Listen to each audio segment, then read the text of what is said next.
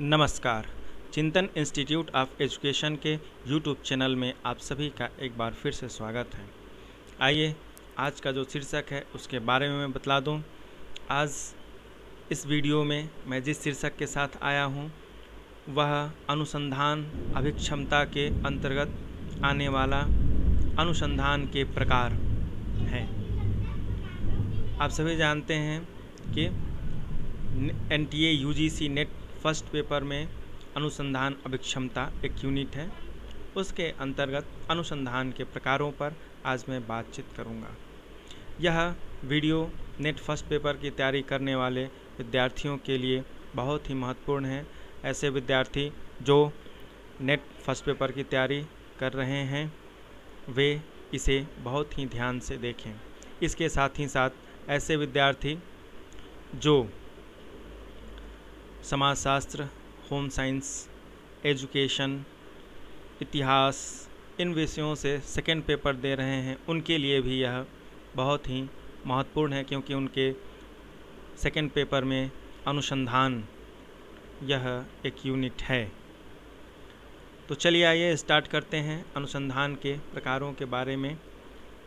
तो देखिए, सबसे पहली बात तो ये है कि अनुसंधान यह जो विषय है या जो शीर्षक है, जब हम यह कहते हैं कि इसका वर्गीकरण या इसके कितने प्रकार हैं तो इसको प्रकारों में बांटना या इसका वर्गी, वर्गीकरण करना एक बहुत ही जटिल सा कार्य है। क्योंकि जितने भी वर्गीकरण या प्रकार आप पुस्तकों में पढ़ेंगे, देखेंगे, कहीं ना कहीं उसमें आप एक प्रकार का ओवरलैपिंग ज़रूर पाएँगे। फिर भी विद्वानों ने अपने अपने अनुसार इसका वर्गीकरण किया है। तो मैं यहाँ पर उन्हीं सभी वर्गी, वर्गीकरणों को लेकर के आया हूँ। तो देखें, सबसे पहला जो वर्गीकरण है, वह अनुसंधान के उद्देश्यों के आधार पर किया गया है और इसमें कुल तीन इसके अंतर्गत कुल तीन प्रकार के अनुसंधान कार्य आते हैं। इसके अंतर्गत हम जो भी वर्गीकरण है, वह क्या है? तीन हैं। इसके अंतर्गत तीन वर्गीकरण किए गए हैं। तो देखें, सबसे पहला है मौलिक अनुसंधान, दूसरा प्रयुक्त अनुसंधान और तीसरा है क्रियात्मक अनुसंधान।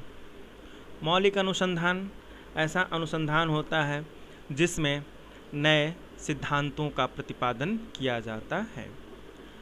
प्रयुक्त अनुसंधान ऐसा अनुसंधान होता है जिसमें मौलिक अनुसंधानों द्वारा दिए गए सिद्धांतों का अनुप्रयोग करते हुए, उसका प्रयोग करते हुए वर्तमान में आई हुई अपनी समस्याओं का समाधान किया जाता है।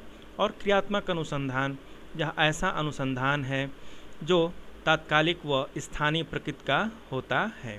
ठीक है तो इसमें ऐसी समस्याओं का समाधान किया जाता है जो किसी एक स्थान विशेष में आया हुआ हो और वह टेम्परेरी हो। तो इस प्रकार का जो शोध किया जाता है, वह क्रियात्मक अनुसंधान प्रकार का शोध होता है। तो आप देख सकते हैं, अनुसंधान के उद्देश्यों के आधार पर अनुसंधान को तीन वर्गों में बांटा गया है। नेक्स्ट आइए देखते हैं हमारा क्या है वर्गीकरण। नेक्स्ट वर्गीकरण है अनुसंधान विधि के आधार पर। अनुसंधान विधियों के आधार पर भी अनुसंधान को तीन प्रकार में बांटा गया है। पहला है ऐतिहासिक अनुसंधान। दूसरा, वर्णात्मक अनुसंधान और तीसरा, प्रयोगात्मक अनुसंधान, ऐतिहासिक अनुसंधान हिस्टोरिकल रिसर्च यह ऐसा अनुसंधान है जिसमें अतीत में घटित घटनाओं के बारे में अध्ययन किया जाता है। इसके अंतर्गत वॉट वॉज़ क्या था, इसका अध्ययन किया जाता है। वर्णात्मक अनुसंधान, इसका संबंध वर्तमान में घटित होने वाली घटनाओं के संबंध में अनुसंधान करने से है। तो वर्तमान में क्या घटित हो रहा है? क्या घटनाएँ घट रही हैं? इसके बारे में जब अध्ययन किया जाता है तो ऐसा अनुसंधान वर्णात्मक अनुसंधान के अंतर्गत आता है। और तीसरा है हमारा प्रयोगात्मक अनुसंधान एक्सपेरिमेंटल रिसर्च ऐसा रिसर्च जिसमें कॉज एंड इफ़ेक्ट कारण, प्रभाव का अध्ययन किया जाता है और जहाँ पर आप ये देखेंगे कि कुछ चरों को नियंत्रित किया जाता है और कुछ उसमें स्वतंत्र चर होते हैं जिनमें मैनिपुलेशन किया जाता है। उनमें कुछ उनके वैल्यूज़ में, उनके मान में कुछ परिवर्तन करके जो आश्रित चर होते हैं, उन पर क्या प्रभाव पड़ रहा है, इसका अध्ययन प्रयोगात्मक अनुसंधान के अंतर्गत किया जाता है। नेक्स्ट जो हमारा वर्गीकरण है, वह है अनुसंधान उपागम के आधार पर। उपागम के आधार पर भी आप देखेंगे, रिसर्च को तीन प्रकार में बांटा गया है।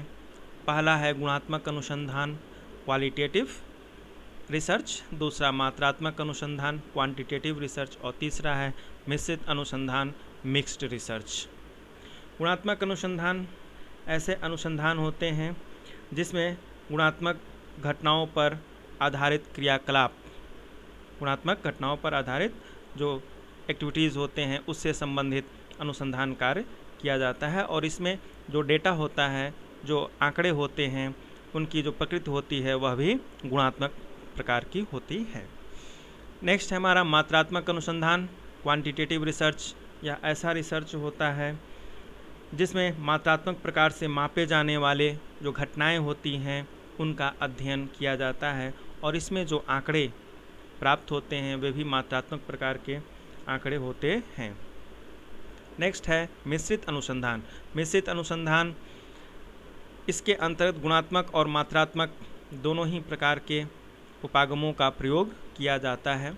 ऐसे रिसर्च में पहले हम गुणात्मक प्रकार का करते हैं, फिर मात्रात्मक प्रकार से उसकी पुष्टि करते हैं या मात्रात्मक प्रकार से अनुसंधान करके फिर दूसरे स्टेज में गुणात्मक प्रकार से हम उसकी पुष्टि करते हैं। तो इस प्रकार से आप देखेंगे कि उपागम के आधार पर रिसर्च को तीन भागों में बांटा गया है, गुणात्मक अनुसंधान, मात्रात्मक अनुसंधान और मिश्रित अनुसंधान। नेक्स्ट वर्गीकरण है हमारा अनुसंधान की प्रकृति के आधार पर। देखिए, अनुसंधान की प्रकृति के आधार पर भी अनुसंधान को तीन भागों में बांटा गया है। पहला है वर्णात्मक अनुसंधान डिस्क्रिप्टिव रिसर्च दूसरा विश्लेषणात्मक अनुसंधान एनालिटिकल रिसर्च और तीसरा है क्रियात्मक अनुसंधान एक्शन रिसर्च वर्णात्मक अनुसंधान, जहाँ पर किसी भी घटना के वास्तविक स्थिति का यथावत रूप से वर्णन किया जाता है तो उस प्रकार का जो भी अनुसंधान है, वह वर्णात्मक प्रकार के अनुसंधानों के अंतर्गत आता है। दूसरा है विश्लेषणात्मक अनुसंधान एनालिटिकल रिसर्च इस प्रकार के अनुसंधान के अंतर्गत किसी भी सूचनाओं या साक्ष्यों का आलोचनात्मक ढंग से मूल्यांकन किया जाता है। तीसरा है क्रियात्मक अनुसंधान, एक्शन रिसर्च। एक्शन रिसर्च, इसके पहले भी हम लोगों ने इस पर बात किया है। एक्शन रिसर्च, ऐसा रिसर्च है, क्रियात्मक अनुसंधान, ऐसा अनुसंधान है जिसमें किसी भी स्थान पर तात्कालिक रूप से आई हुई जो समस्या होती है उसका समाधान करने के लिए जो अनुसंधान आयोजित किया जाता है, वह क्रियात्मक अनुसंधान कहलाता है। नेक्स्ट वर्गीकरण है हमारा अनुसंधान परिणामों के आधार पर। तो देखें, अनुसंधान परिणामों के आधार पर तीन वर्गों में अनुसंधान को बांटा जाता है।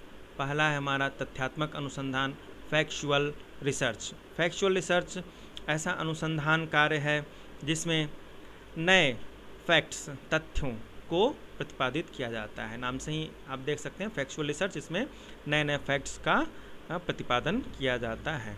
नेक्स्ट है हमारा सैद्धांतिक अनुसंधान थ्योरेटिकल रिसर्च थ्योरेटिकल रिसर्च सैद्धांतिक अनुसंधान। ऐसा अनुसंधान है जिसमें नए सिद्धांतों, नए थीरीज न्यू थीरीज को डेवलप किया जाता है। तो नए सिद्धांतों को डेवलप करने के लिए जो अनुसंधान कार्य किया जाता है, वह सैद्धांतिक अनुसंधान है।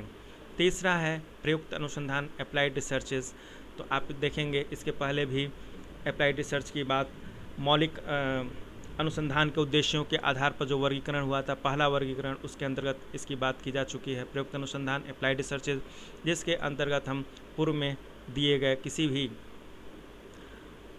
सिद्धांत या सत्यों, तथ्यों का प्रयोग करके हम अपनी वर्तमान में आई हुई समस्या का समाधान करते हैं। तो ये रही हमारे अनुसंधान परिणामों के आधार पर वर्गीकरण। अगला जो वर्गीकरण है, वह है आधार सामग्री। आधार सामग्री की प्रकृति के आधार पर। अब देखेंगे आधार सामग्री की प्रकृति के आधार पर भी जो वर्गीकरण है, उसके अंतर्गत दो, इसके अंतर्गत दो भागों में बांटा गया है। पहला है संप्रत्यात्मक अनुसंधान। Conceptual research. अब देखिए कॉन्सेप्चुअल रिसर्च संप्रत्यात्मक अनुसंधान ऐसा अनुसंधान है जिसके अंतर्गत दार्शनिक या चिंतकों द्वारा, दार्शनिकों या चिंतकों द्वारा विभिन्न संपत्तियों को प्रतिपादित किया जाता है। नाम से ही संप्रत्यात्मक अनुसंधान कॉन्सेप्चुअल रिसर्च इसमें जो दार्शनिक हैं या जो चिंतक हैं, वे नए नए कॉन्सेप्ट्स का प्रतिपादन करते हैं। तो इस प्रकार का जो रिसर्च है जहाँ पर जो हमारे दार्शनिक या चिंतक हैं, वे नए कॉन्सेप्ट को दे रहे हैं, नए संप्रत्यय को प्रतिपादित कर रहे हैं। तो इस प्रकार का अनुसंधान, संप्रत्यात्मक अनुसंधान के अंतर्गत आता है। दूसरा है अनुभवजन्य अनुसंधान इम्पेरिकल रिसर्च तो देखिए, यह जो रिसर्च का प्रकार है, इसके अंतर्गत आनुभविक डेटा के आधार पर जो भी अनुसंधान कार्य किए जाते हैं, वह इसके अंतर्गत आता है। तो इसमें आप देखेंगे कि ऐसे अनुसंधान कार्यों में आनुभविक ढंग से आंकड़ों को प्राप्त किया जाता है और उनका विश्लेषण करके किसी निष्कर्ष तक पहुँचा जाता है। तो बहुत ही शॉर्ट में यह कहा जा सकता है कि अनुभव जन्य आंकड़ों पर आधारित जो रिसर्च होता है, उसे हम अनुभवजन्य अनुसंधान कहते हैं इम्पिरिकल डेटा पर बेस्ड रिसर्चेस।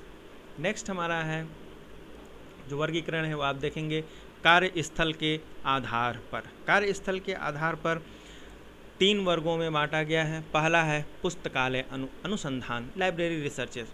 तो ऐसे अनुसंधान कार्य जिसमें शोधकर्ता को सिर्फ़ पुस्तकालयों, वाचनालयों, अभिलेखागार, संग्रहालयों आदि की ही आवश्यकता पड़ती है, उन्हें ऐसे जगहों पर जा कर के ही अपने डेटा को कलेक्ट करना पड़ता है। तो इस प्रकार के जो अनुसंधान कार्य हैं, उनको पुस्तकालय अनुसंधान लाइब्रेरी रिसर्चेस के अंतर्गत रखा जाता है। दूसरा है हमारा क्षेत्र अनुसंधान फ़ील्ड स्टडी।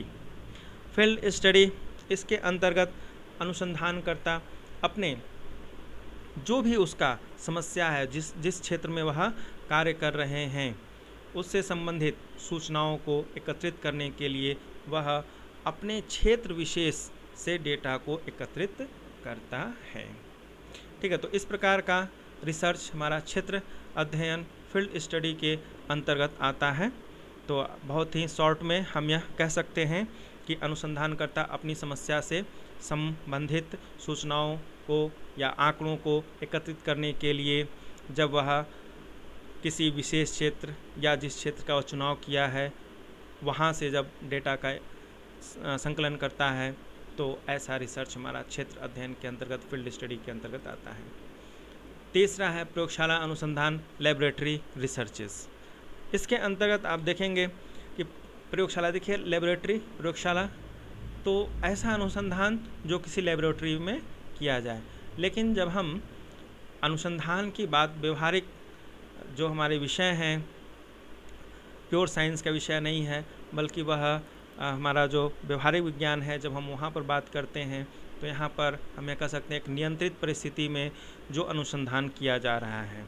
ठीक है तो जहाँ पर आप देखेंगे कि रिसर्चेस को करने के लिए जो शोध करता है, वह कुछ अपनी लिमिटेशंस को जो उनकी लिमिटेशंस हैं, उनको क्या करते हैं, वह निर्धारित करते हैं और एक परिस्थिति का निर्माण करते हैं। जिसको आप कह सकते हैं प्रयोगशालागत परिस्थिति, उसके अंतर्गत पूर्ण नियंत्रण में वह अपना अनुसंधान कार्य करते हैं। तो इस प्रकार का जो भी अनुसंधान कार्य होता है, वह प्रयोगशाला अनुसंधान लेबोरेटरी रिसर्चेस के अंतर्गत आता है। नेक्स्ट है हमारा प्रायोजक के आधार पर classification according to sponsor sponsor के आधार पर जब हम अनुसंधान को बांटते हैं तो इसमें भी तीन प्रकार आता है। देखें, पहला है सरकार पोषित अनुसंधान, गवर्नमेंट फंडेड रिसर्च। ऐसा रिसर्च, ऐसा अनुसंधान कार्य जिसको फंड गवर्नमेंट के द्वारा प्राप्त हो रहा है तो इस प्रकार से किया जाने वाला जो भी अनुसंधान कार्य होगा, उसे हम सरकार पोषित अनुसंधान, गवर्नमेंट फंडेड रिसर्च के अंतर्गत रखते हैं। दूसरा है संस्थागत पोषित अनुसंधान, इंस्टीट्यूशनल फंडेड रिसर्च। अब यह ऐसा अनुसंधान है, देखिए, नाम से ही पता चल रहा है, इस प्रकार का अनुसंधान कार्य जिसे कोई एक इंस्टीट्यूशन कोई एक संस्था फंड दे रही हो, ठीक है? उस रिसर्च कार्य को पूरा करने में यदि कोई इंस्टीट्यूशन फंड कर रहा हो तो ऐसा रिसर्च संस्थागत पोषित अनुसंधान के अंतर्गत रखा जाता है। और तीसरा है, स्ववित्त पोषित अनुसंधान। ऐसा अनुसंधान कार्य जिसे फंड न तो सरकार द्वारा मिल रहा हो, न किसी अन्य संस्था द्वारा। वह जो रिसर्चर है, जो शोध करता है, वह खुद के ही फंड से रिसर्च कर रहा है तो इस प्रकार के कार्य को स्ववित्त पोषित अनुसंधान सेल्फ फंडेड रिसर्च के अंतर्गत रखा जाता है। नेक्स्ट वर्गीकरण देखें, यह है अनुसंधानकर्ता के आधार पर। क्लासिफिकेशन अकॉर्डिंग टू रिसर्चर जब हम इस पर अनुसंधान का वर्गीकरण करते हैं तो इसमें मुख्य रूप से दो प्रकार के रिसर्चेज आते हैं। एक तो है हमारा व्यक्तिगत अनुसंधान इंडिविजुअल रिसर्च ऐसा रिसर्च जिसे रिसर्चर अकेले करता है, इसमें जो रिसर्चर होते हैं, वह केवल एक केवल एक रिसर्चर द्वारा, एक अनुसंधानकर्ता द्वारा यदि कोई रिसर्च किया जा रहा है तो वह इंडिविजुअल रिसर्च व्यक्तिगत अनुसंधान के अंतर्गत आता है। और दूसरा है हमारा सामूहिक अनुसंधान ग्रुप रिसर्च इस प्रकार के अनुसंधान कार्य को एक व्यक्ति नहीं, बल्कि दो या दो से अधिक व्यक्ति कुछ व्यक्तियों का समूह मिल करके रिसर्च करता है तो ऐसे रिसर्च को सामूहिक अनुसंधान के अंतर्गत रखा जाता है।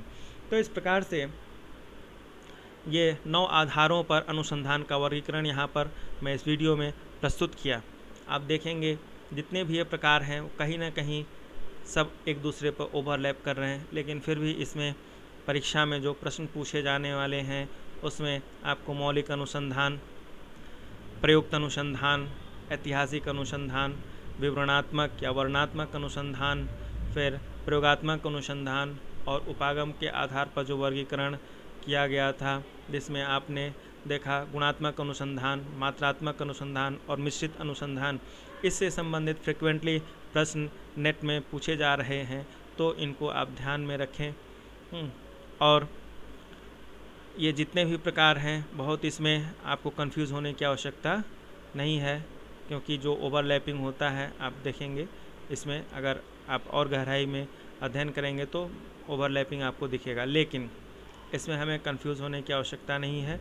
ये कुछ आधारों पर वर्गीकरण किया गया है। ठीक है? चलिए, आज के इस वीडियो में इतना ही। अगली जो हमारी वीडियो है, उसमें मैं मौलिक अनुसंधान, प्रयुक्त अनुसंधान और क्रियात्मक अनुसंधान को डीप में बताऊँगा तो अगली वीडियो जो हमारी आएगी उसे देखना ना भूलें।